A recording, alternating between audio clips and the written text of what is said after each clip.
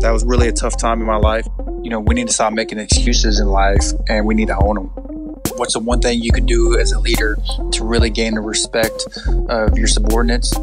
All this has come together for a reason almost, man. This is the FireDawg Podcast. The views and opinions presented on today's episode are those of the speaker and do not necessarily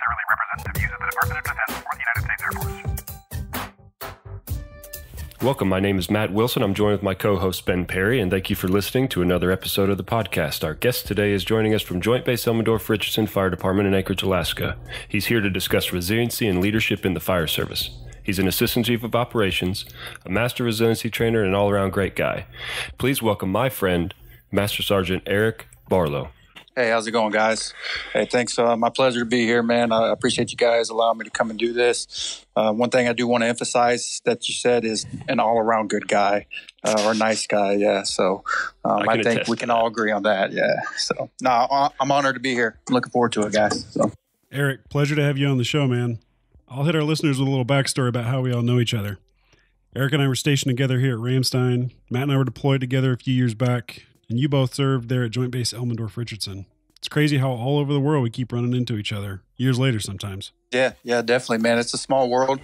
Um, you know, I, I, I think as you progress through your career, you, you start forming that uh, that mafia that uh, you know I've heard Chief Thompson uh, speak about before. So, and I'm I'm glad to have you guys in the mafia. So, um, we you know what you guys are doing here, man. Like I said earlier, I'm honored to be here. But what you guys are doing with the, the podcast, man, I, I think this is going to take off, and I'm excited to be involved with it. Yeah, brother. We hope so. And, uh, you know, you're our first guest. So, uh, you know, congratulations on that. Yeah, yeah, Um, man. So, so, brother, tell us, man, what's your background? Um, what's your relationship with resiliency? Um, you know, what makes you qualified to talk about this stuff?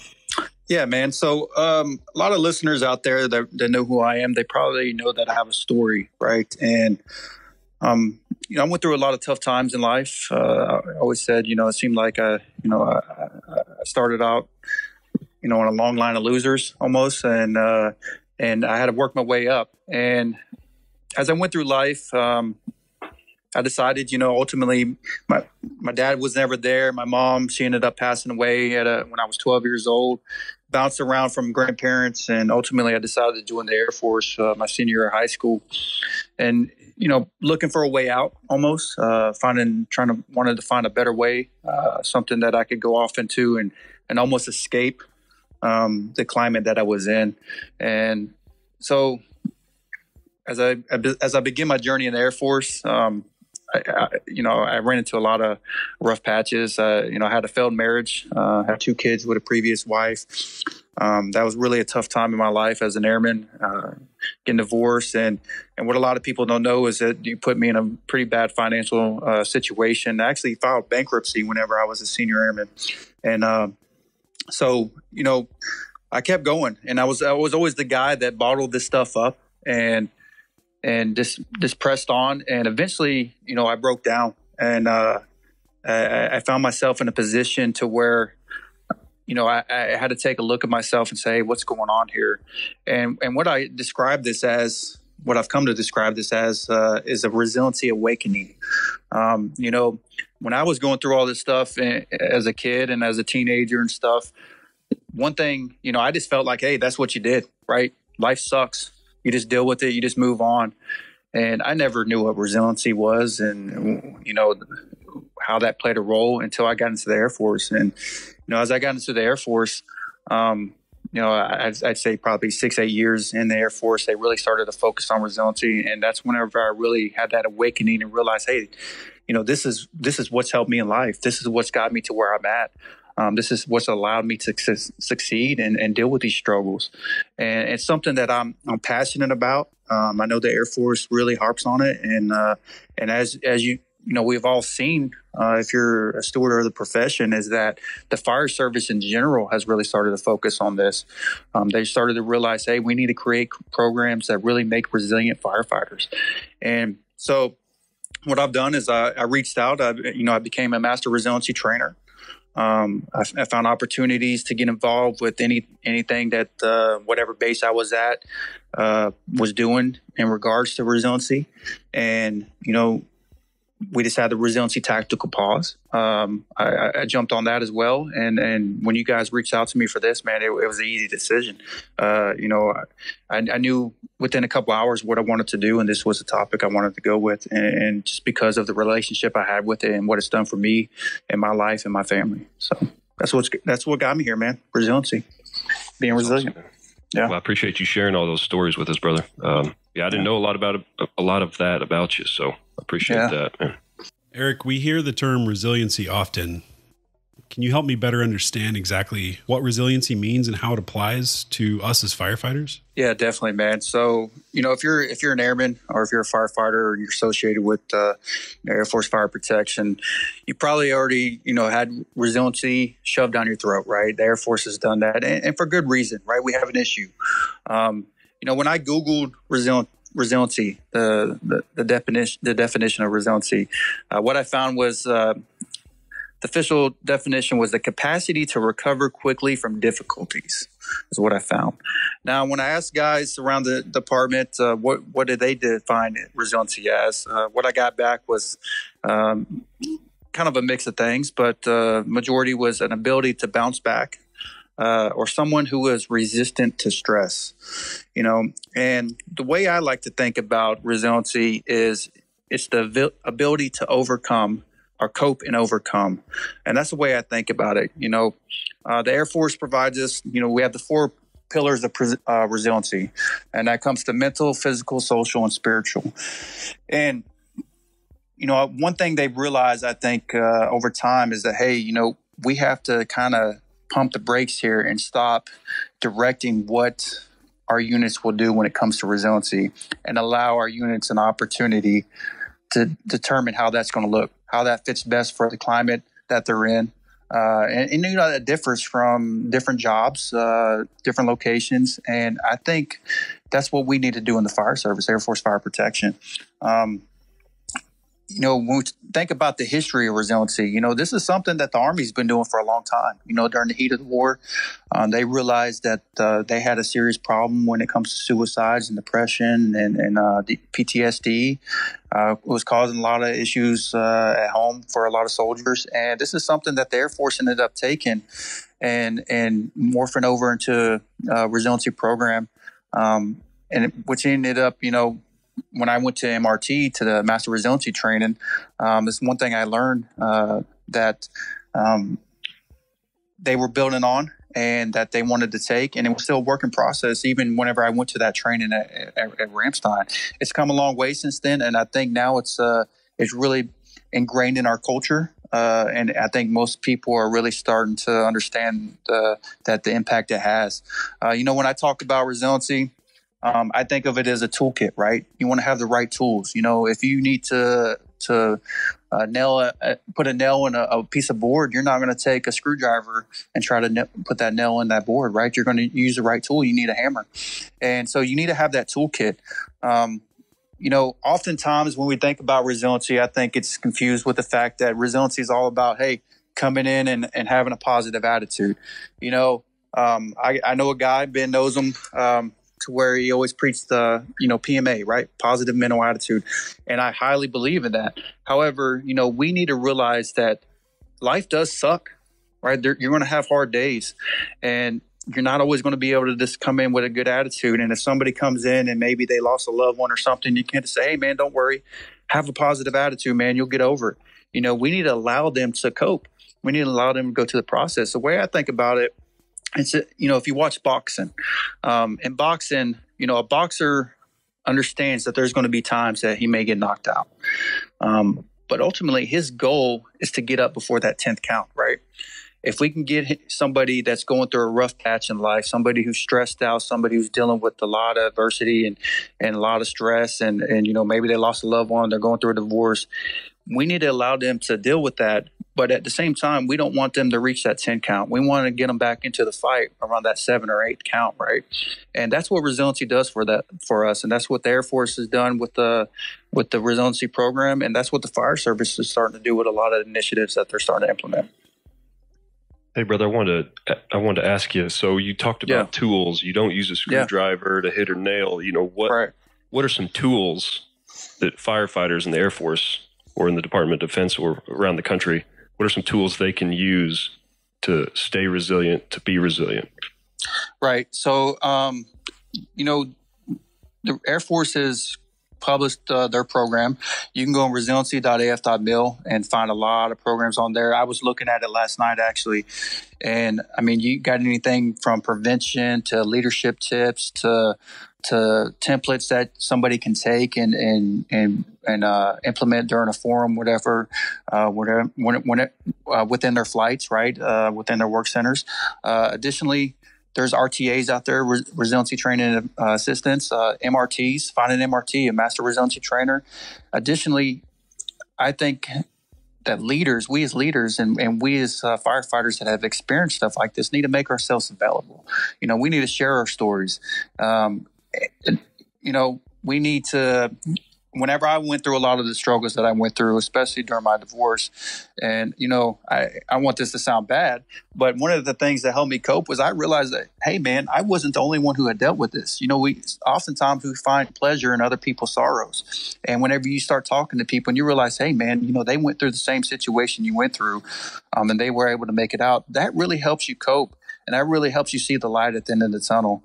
Uh, additionally, you know, there's your other resources out there. You got the chaplain, you have uh, mental health, and I think um, we as a force have really we've progressed uh, in the right direction to really breaking that stigma when it comes to reaching out and and and uh, taking advantage of those resources.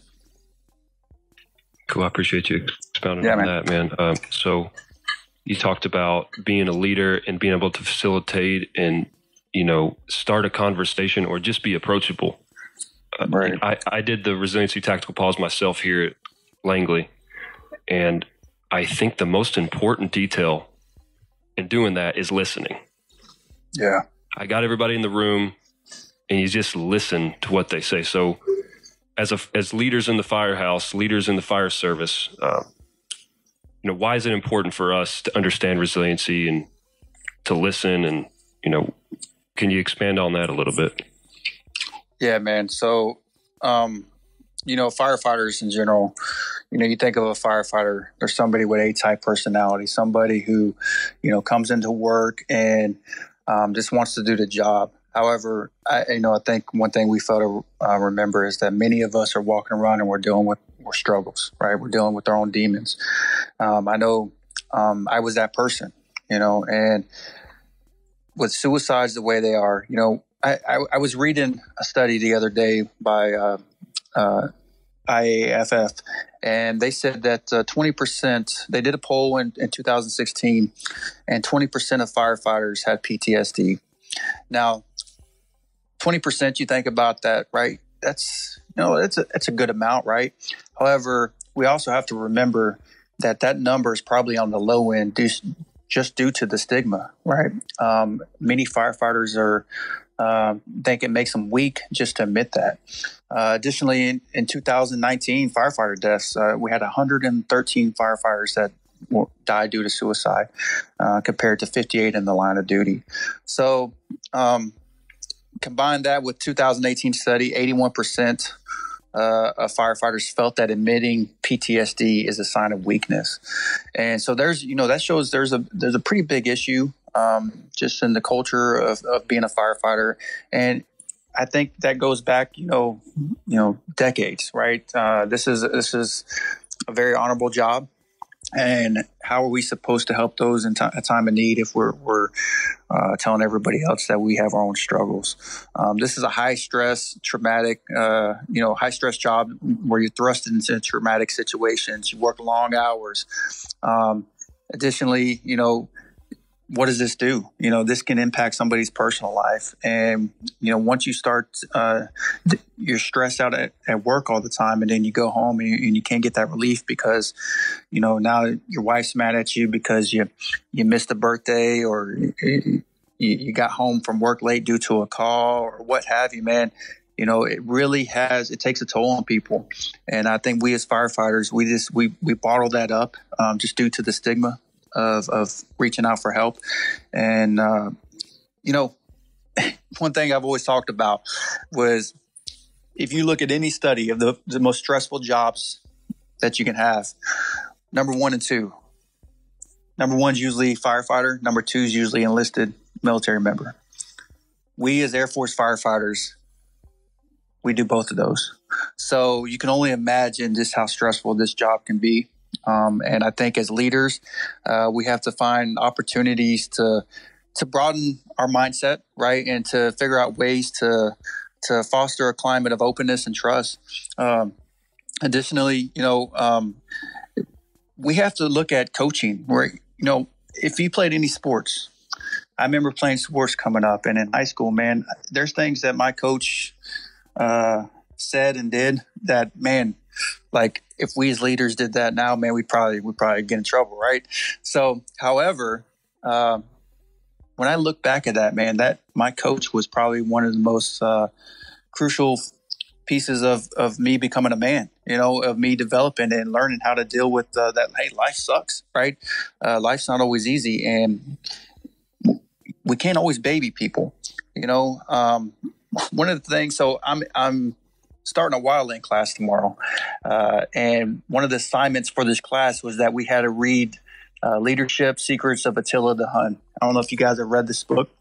Um, I never even heard about it until until it came up in this uh, in this assignment, and it's very easy read. Um, but I, I tell you, I got to the end of it, and there was a quote in there that really stuck out, and what he says is uh, Attila the Hun. So Attila the Hun is uh, he was the king of the Huns, and when he's talking about how to develop his chieftains uh, for the different tribes within um, the Hun, uh, you know, kingdom, one of the things that he says is appropriate stress is essential in developing chieftains.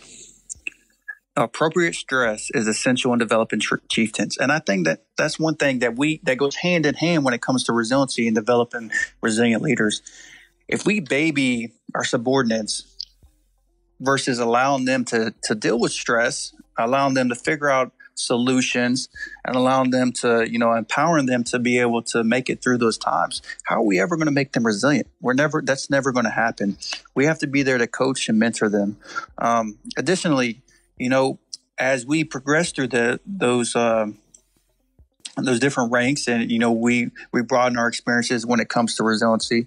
Uh, I think we as leaders owe it to our you know our the future leaders to identify those who maybe stick out, those who we can. Um, maybe say, hey, listen, you're going to go become a resiliency, an RTA, a resiliency uh, training assistant, or hey, you know what, you, you would make a hell of a an MRT. Um, or hey, you know what? There's there, there's a committee standing up and it's and it has to do with resiliency. I want you to be a part of that. There should be no rank requirement for that, right? Um, if that's the you know a rookie firefighter, then hey, why not pick him, right? Know his story, and we have to engage. Uh, we have to be authentic, authentic ourselves, and this all goes back to sharing our story, guys. You know, if I think the best leaders I've ever met are authentic leaders, ones who share their stories, they share their past, they share their, their screw ups, their mistakes. Um, and it shows a that they're they're real, they're humans, right? And that they made it through tough times and that we can too. Um, at the same time, um, you know, we have to hold everybody accountable. We have to preach ownership, right? So I know all of us are big on that. You know, you have to preach that ownership. Um, and this goes back, right? appropriate stress is essential in developing chieftains. I think appropriate stress is essential in developing Air Force leaders within uh, the fire service. Yeah, brother, you grow outside of your comfort zone. You know, yeah, you can't you can't be comfortable all the time, and you know, same thing applies to stresses in life. You you have to experience those things. That's the way to learn. That's the way yeah. to move forward. And yes, yeah, definitely. I, I picked up a little there. You know, as leaders, just just listen and be there, be there for your brothers and be there for the firefighters. I mean, that's pretty much, that's a key as a leader. But uh, so, what are some actionable things though firefighters can do uh, in terms of being resilient? And you know, if they see issues with their brethren or even maybe their leaders or and they don't have the rank or they don't have the position to be able to talk um, you know what are some actionable things th- that we can do or they can do? Right. Yeah, I think um, first of all, you know, it's something that uh, it's never an easy thing to do. But uh, if you see that there's an issue with one of your fellow brothers or sisters, man, um, you know, engage with them right off the bat. You know, ask them, hey, is everything good? Uh, you know, I think that's probably the easiest or the the the most the simplest thing you can do. It's probably one of the hardest things you could do because it's un- it's uncomfortable. Um, you know, but I think if you really really want to uh, make an impact, if you're that person that is willing to do that, man, um, that's going to go a long way. Additionally, you know, you can reach out to those uh, those leaders um, that you know uh, are transparent? They're, that are open, uh, that truly care. Um, you can reach out to maybe whoever is an MRT. You can reach out to chaplain, um, like we discussed earlier. Um, and you know, you can you can just. I, I, I would tell you, man. One thing I think we've lost is that um, sense of community, right? Uh, that tribe, and you know, a lot of it. We, you know, I was asked the question the other day whenever it came to the four pillars of resiliency, uh, which one I thought was the most important for us right now, and it, instantly I said social. Um, I think right now we are so disconnected as a society that that's um, causing a lot of the issues that we have when it comes to suicides and PTSD and depression. Um, no longer is there that human interaction um, just due to the fact that somebody can now sit in their in their room and and have 300 friends on social media versus actually getting out and engaging and having that sense of community. Once I, I think once somebody loses that sense of community and feels like they're no longer a part of a team, um, that really gives them that that mindset that there's there is no hope, that nobody cares for them, and so no matter you know the fire service, especially when it comes to Air Force firefighting, is very uh, a diverse culture, right? So uh, you know you look on the outside uh, when it comes to firefighting. Many of those firefighters, you know, they they come from a long line of firefighters. That's all they've ever wanted to do. Um, they go through the ranks, you know, the process. They become a recruit, and and they work their way up. In the Air Force, sometimes you're going to get firefighters that it was just handed to them, right? You know, for me, uh, whenever I joined the Air Force, uh, firefighter was my last pick. Now, you know, I'm thankful and I'm grateful that I got this job because I can't imagine doing anything else. But there are firefighters that we have within our departments that maybe this isn't what they wanted to do, um, and they're trying to adjust. Um, maybe they come from a different background, and we have to be open. We have to have an open mindset when it comes to that. Um, additionally, you know, when we talk about uh, those resources, you know, I mentioned earlier the resiliency.af.mil. Um, that's an awesome opportunity or awesome resource for, for people to reach out and find opportunities. Military One Source. Uh, a lot of people don't know this, but you go on Military One Source and uh, you can actually get uh, free counseling. You know, actually sit down with the psychologist and actually discuss uh, some of the problems you're going you're, that you're dealing with in life. And this is uh, you know this this puts no stain on your record man you know uh, this is all uh, confidential nobody has to know about it and it's it's an awesome resource um, we, yep go ahead oh sorry to interrupt you man I, yep. so I, while you were talking I, I, got to thinking and I yep. remember when being stationed there with you we had the social worker yep. embedded in the squadron yeah I'm wondering what your thoughts are on that and if you think it helps I thought she was great I don't know if there's a new one now I thought yeah. it probably did help. You know, it's it's hard to measure something like that, but I just wonder what your thoughts are on that. Yeah, uh, Task Force uh, True North is what that's called. Yeah, I know JBER was one of the, the test bases for that. I think uh, even Ramstein was uh, on the other side of that as far as pulling away resources. You know, they plussed up JBER and they pulled away resources from Ramstein to see kind of compare how that was going to work out. Um, you know, JBER is a very unique uh, assignment, as you know, or Matt, um, just due to the climate and stuff. The winters are tough, and and you know we've we've had an issue with suicides this year. Um, as far as within the unit, I definitely saw the benefits from it. Now, I think what we've got to do, the Air Force has got to do, is they've got to kind of refine on who um, they're embedding you know, within these units. Uh, I think you need the right person. Um, and the, the, the, person that we had was awesome. However, she left. Um, and since then, I have not seen um, that impact from that program, uh, just due to the fact that uh, I think the people who took over just different personality, um, and maybe not as engaged as she was. So, I, you know, it's definitely an awesome resource. I saw, you know, I'm I'm I'm man enough to sit here and say that uh, I took advantage of of that resource myself. Uh, whenever she was here, I mean, I was there was a period there to where I was pretty stressed out, uh, had a lot of stuff going on, and you know, one day she showed up.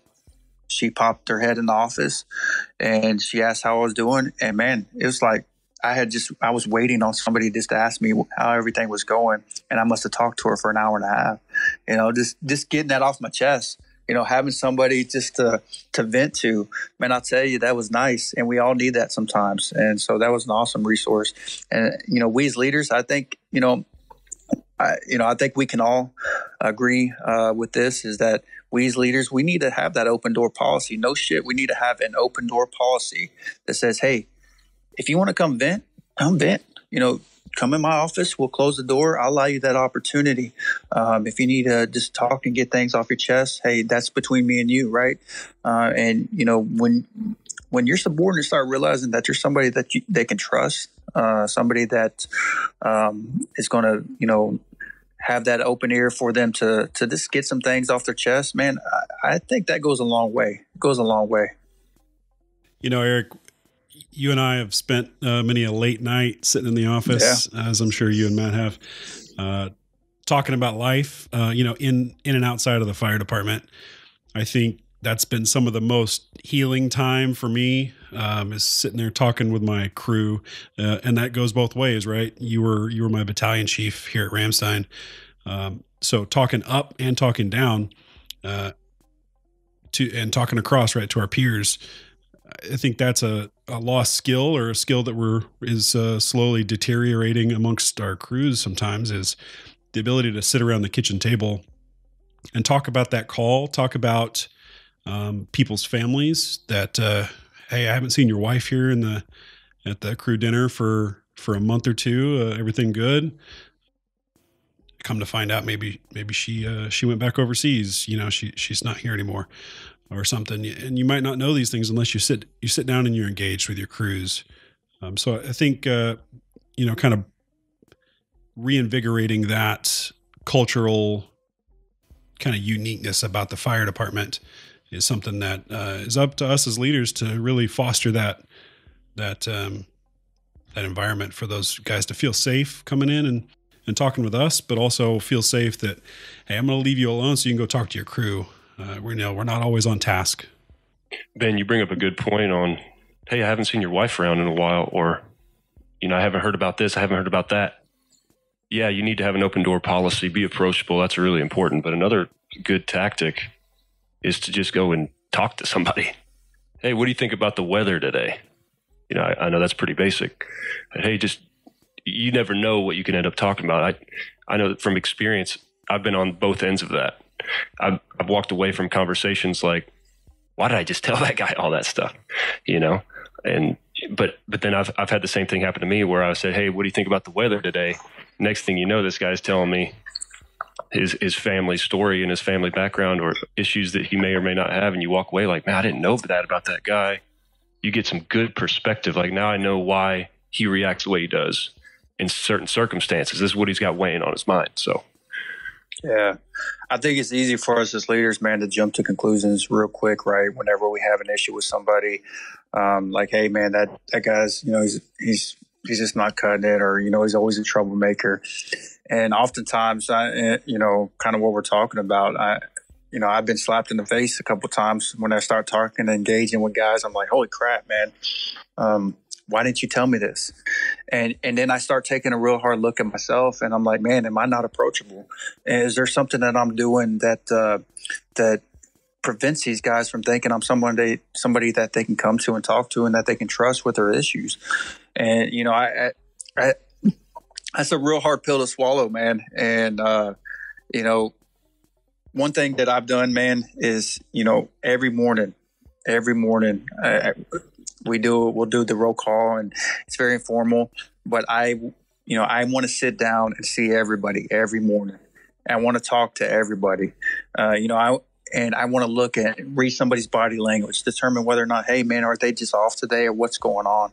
Um, because it's very easy for us as leaders, man. We're you know, especially you you guys both know when uh, when you're in that leadership position on the ops, it's very easy to get occupied with uh, the admin task and and all the hundred million things that are going on throughout the day, and just neglect engaging with the guys um, that are on the crews and on the floor and and seeing how they're doing. Um, and whether that's just a quick BS session, right? To say, you know, what's going on, you just start talking about whatever.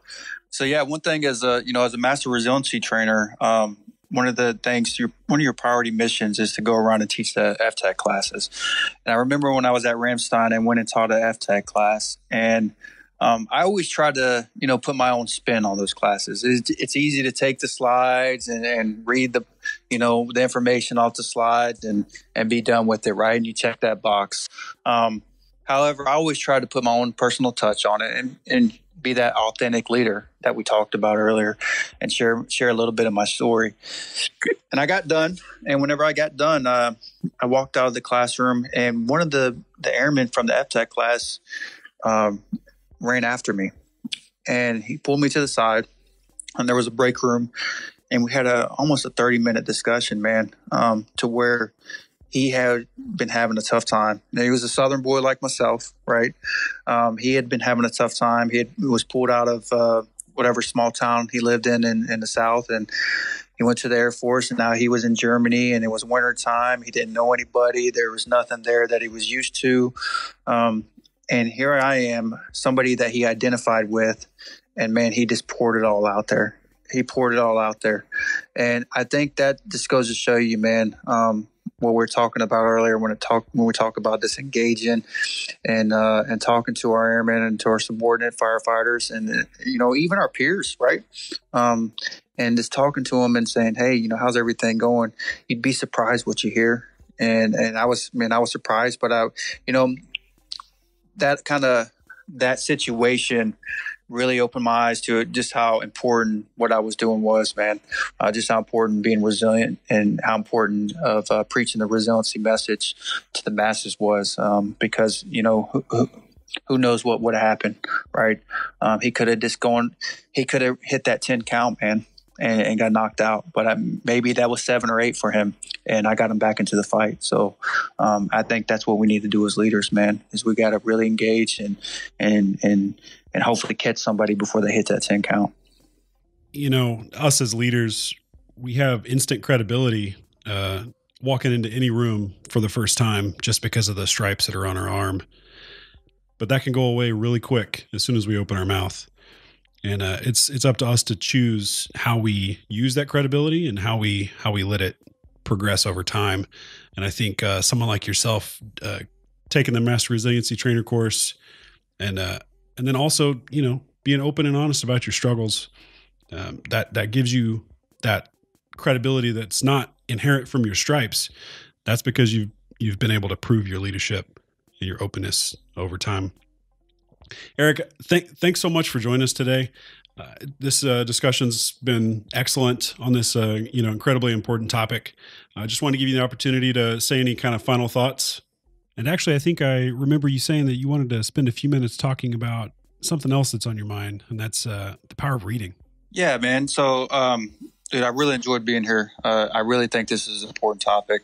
Um, and one thing I, I wanted to end with is you know, one thing I've I've learned uh, throughout my career and as I've gotten older is the power of reading. Right when we talk about reading, um, you know, I think Chief Wright says the leader is a reader. You know, and um, this is one of the things that has really helped me. Uh, and, and, one thing I, I like to read a quote here. All right, so General Mattis, we all know who General Mattis is, right? So a few months ago, I read his book, Call Sign Chaos, and there is a quote in there that when I read it, I'm like, man, this is 100%. I mean, this explains just how important it is uh, for a leader to read.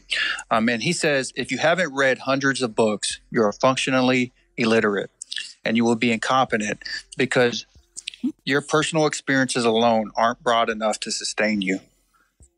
Dude, when I read that, I, I, I mean, it hit me right then and there, um, and also made me realize, man, I needed to read more because, you know, he's pretty much saying, "Hey, Eric, you need to pick it up, dude."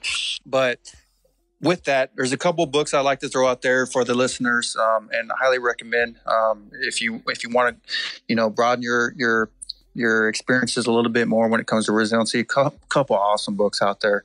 Uh, first one is Unbroken by Lauren Hillenbrand awesome book.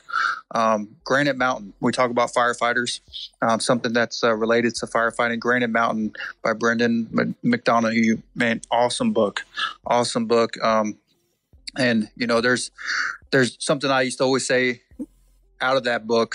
Um, I'll paraphrase here a little bit, but um, the superintendent of that hotshot team, you know, he told uh, Eric or Brendan, who was the uh, firefighter, um, he said, you know, he said, if I make you a better firefighter, that's all good and well. But if I do not make you a better man, I fail.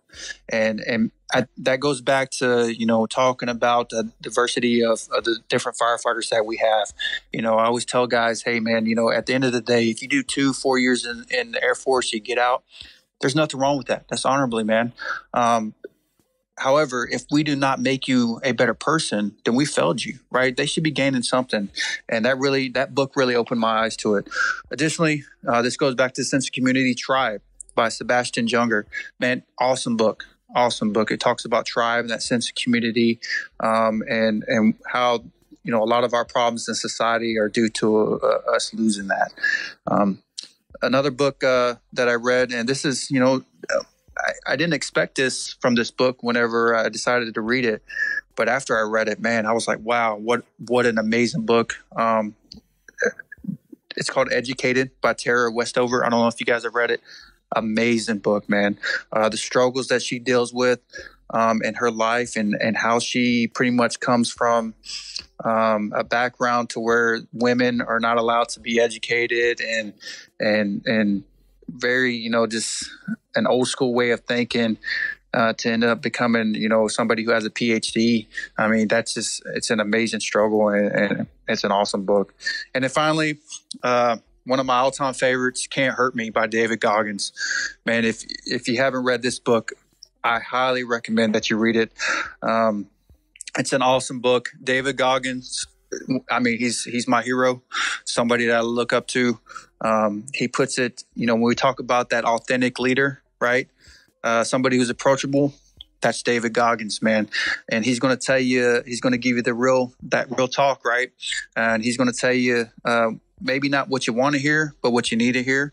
And I know there's a lot of things I read in his book that really opened my my eyes to, and and it's something that uh, I, I encourage all my guys to read. So yeah, just want to leave you guys with that, man. Uh, at the end of the day, we still got a lot, lot of work to do. I'm excited to see the journey that the the fire service is taking in general, with um, incorporating a resiliency program uh, in, into the fire service. Uh, I, I, think we'll start seeing a lot of lot more on this uh, throughout the years, and as we progress along with the with leaders that are coming up to the ranks that are uh, a little bit more progressive and, and, you know and have grown up in this culture.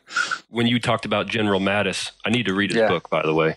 Yeah. But there is a quote that I read and it goes along the lines of the quote that you shared. It's it's about reading. He says by reading you learn through others' experiences, generally a better way to do business, especially in our line of work where the consequences of incompetence are so final yep. for young men. Yep. And yep. that one dude, that one gives me goosebumps when I read it. Yeah. And talk about being applicable to the fire service. You know, the consequence of incompetence are so final for young men and women, anybody. Uh, yeah. So I, I, wanted to share that quote too.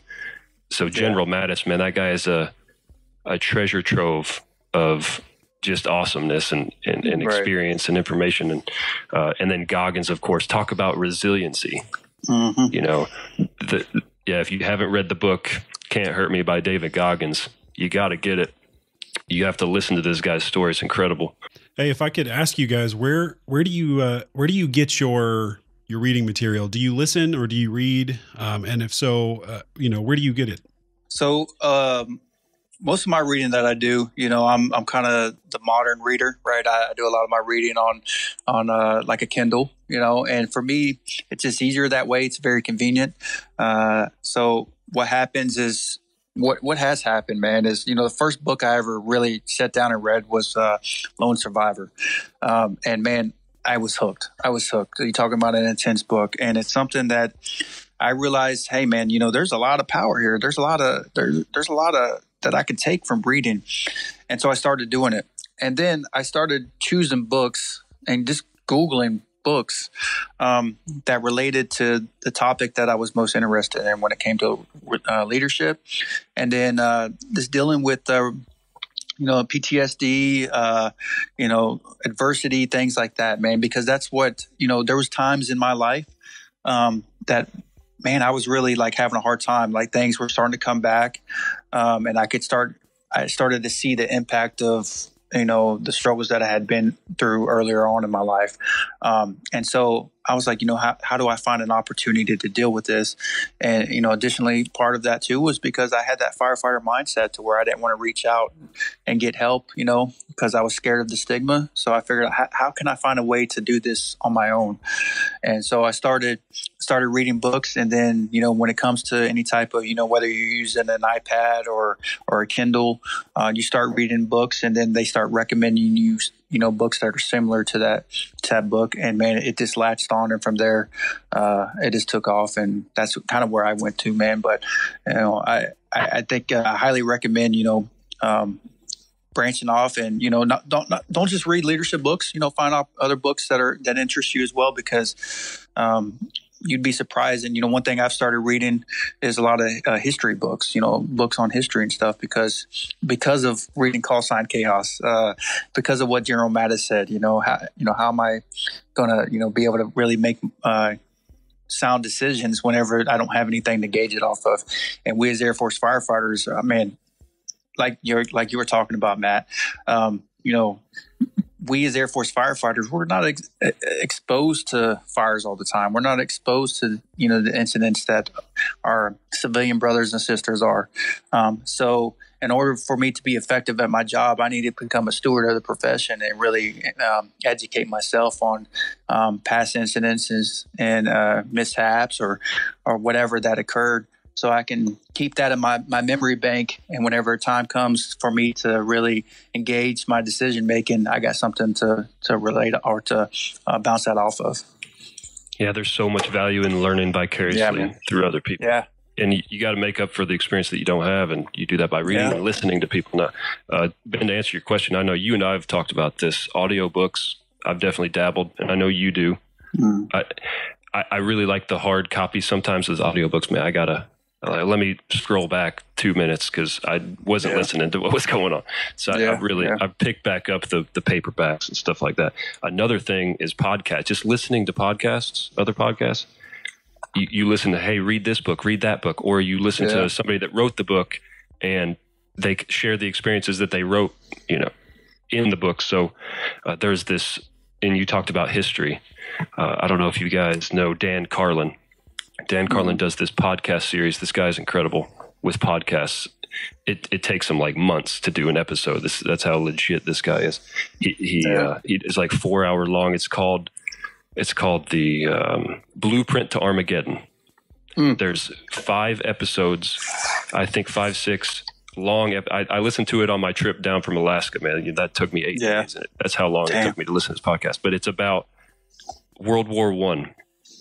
Yeah, and he starts out in and when um, Princip, the guy that um, the guy that killed the Archduke Franz Ferdinand, that kicked off World War One and all that, and he yeah. just goes in detail through that how that started the war and how the everything got unsettled in Europe and how the Americans got involved in every single battle. But so you talked about history. I feel like I should mention that you don't always yeah. have to read the book or listen to the audiobook, but there are podcasts out there with this guy. He's putting together. He's got textbooks in front of him and he's reading off all these reference materials. So anyway, I just wanted to mention that. Yeah. Well, you know, I'm from Oklahoma, so I'm, I'm not the strongest reader. Um, so you know, before a couple of years ago, I didn't I didn't read any books, right? Um, Right. And then I got a little convicted. I think hearing a, a quote Yeah. similar to you, like you said, General Mattis said. So I, I started looking around, and actually on the Air Force portal, I found a couple of applications called Overdrive and RB Digital that Yep. are free resources. And these aren't just Air Force related books. These are leadership. These are fiction. These are history. Right. Right. These are business, entrepreneurship. I mean, any kind of topic you can think of is on here. Um, and not even just the B model ones, right? You get, you actually get the, the nice kind of bestsellers. Um, right. Yeah. so in addition to that, um, I also use a commercial service that I, I pay for.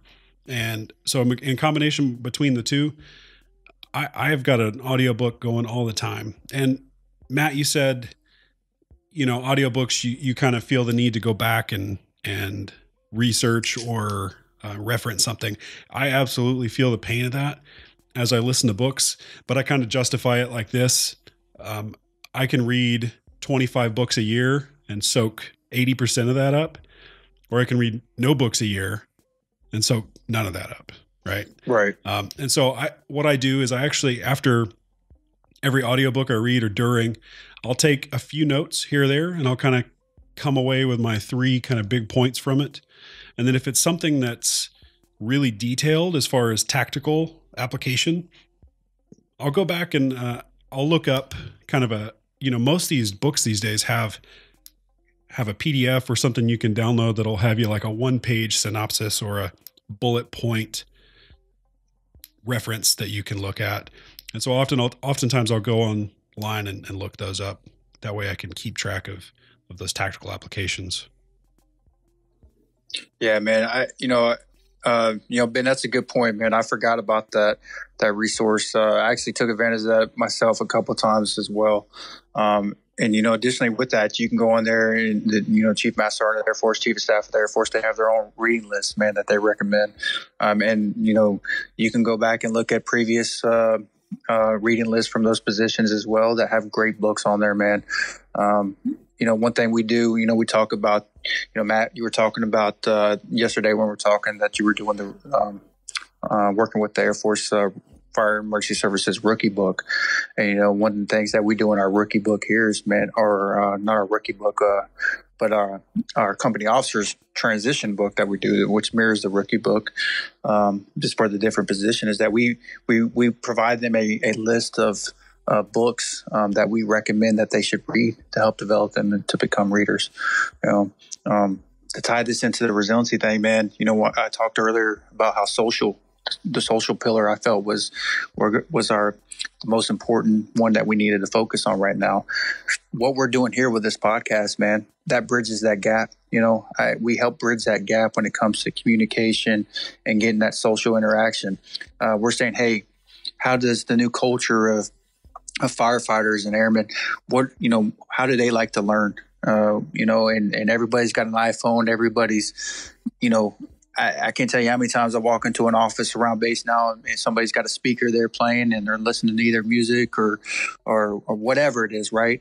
And now you guys have uh, created a platform for people to go in and, and listen to to podcasts um, that help bridge that social gap.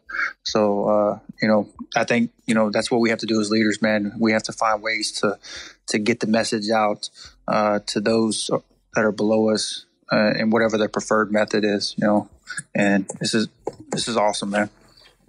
Yeah, so some people don't like to read. Some people just like to listen. You know, Yeah. I think you, you, all Yeah. three of us are, are in that kind of, category. We we like to listen to things. I mean, Ben and I talk about podcasts all the time. We talk about Yeah. audiobooks all the time. So, yeah, Yeah. so doing whatever we can to to communicate to the to the masses, you know. And uh, Yeah. you you mentioned the reading list. There's another book.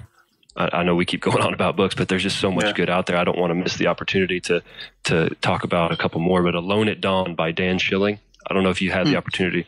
I see, you know, I know I see you writing down. You and I used to do this when I was we were stationed together. We would Yeah. talk back and forth about Yeah, you got to listen to this, you got to read this. But Alone at Yeah. Dawn, it's about um, the combat controller John Chapman. So I I know that Oh, you guys are familiar with John Chapman, the Medal of Honor recipient. It, it goes through that whole story. Uh, just incredible book, man. That that one had me hooked. But there's other stuff. And uh, I don't want to name all, all of them off, but I got to mention Jocko Willink because Jocko Willink, man. Yeah. the extreme ownership and the Yes. dichotomy of leadership. So, if you got to read any book by Jocko, you have to read Extreme Ownership. Yes. That'll- just like you have to read Can't Hurt Me by David Goggins, you have to read that. But Extreme Ownership, man, that it really was kind of revolutionary for me and the way that I think I approach every day. But Yeah, extreme extreme ownership, man, is one of those things that will really, man, that'll change your life after reading that book, man.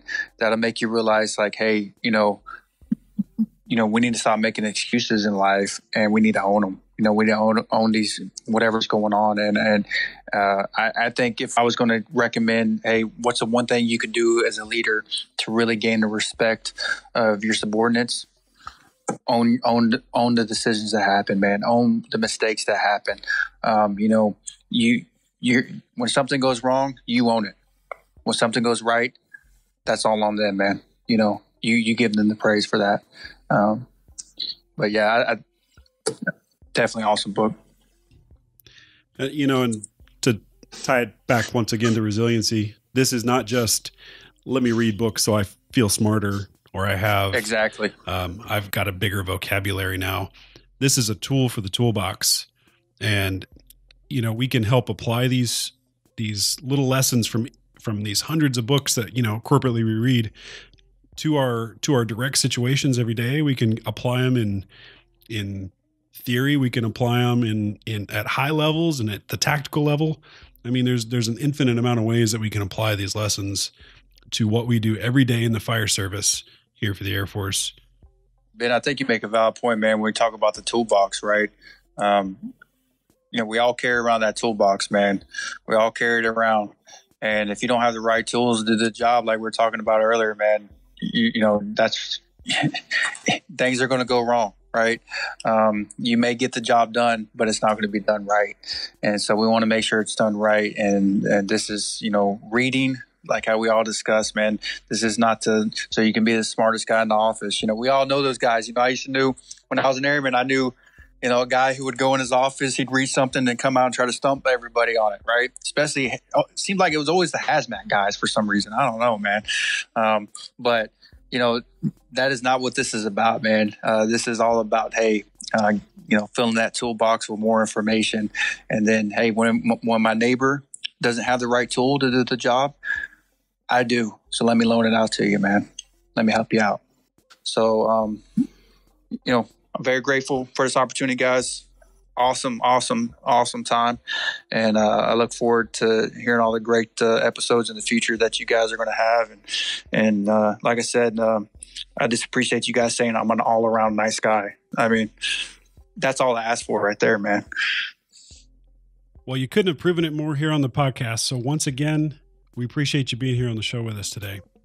Hey, that'll do it for us here on this episode of the FireDawg Podcast. You can find more content just like this regularly posted on our Facebook at facebook.com forward slash the FireDawg Podcast. That is facebook.com forward slash the Fire D A W G Podcast. Please like and subscribe. And don't forget to rate this episode wherever you listen to your podcast. This has been Perry with host Matt Wilson and our guest Eric Barlow. Until next time, stay safe.